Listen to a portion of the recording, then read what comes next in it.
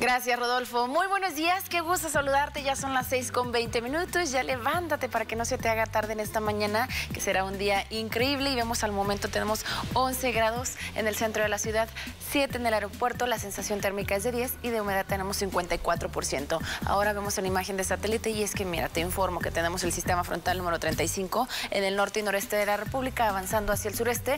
Deja bajas temperaturas, pero como también hace interacción con un canal de baja presión, ocasionará en conjunto con la humedad que proviene desde el Golfo de México, la presencia de algunas lluvias para el día de hoy durante la tarde y noche para que tomes tus precauciones también en el oriente del país. Mientras tanto, para el resto de la República continúa el cielo despejado, las temperaturas sí al amanecer frías, pero ya por la tarde cálidas. Vemos en Colotlán una temperatura máxima de 28, amaneciendo con 6 el día de mañana. En Laos Moreno se espera una mínima de 7 con una máxima de 27. Igualmente en Ciudad Guzmán, para la región de la costa continúan las, las temperaturas también cálidas. Vemos en Puerto Vallarta 26. Cihuatlán sube hasta los 33 con mínimas para mañana de 17 grados. Aquí en la ciudad de Guadalajara este jueves tenemos una temperatura máxima de 27, continúa el cielo despejado, el viento en calma y por la noche también será una noche tranquila, pero un poquito fresca de 16 grados, mientras que los próximos días amanecemos con 9 y 10 en el centro de la ciudad. Hay más información, que tengas un excelente día.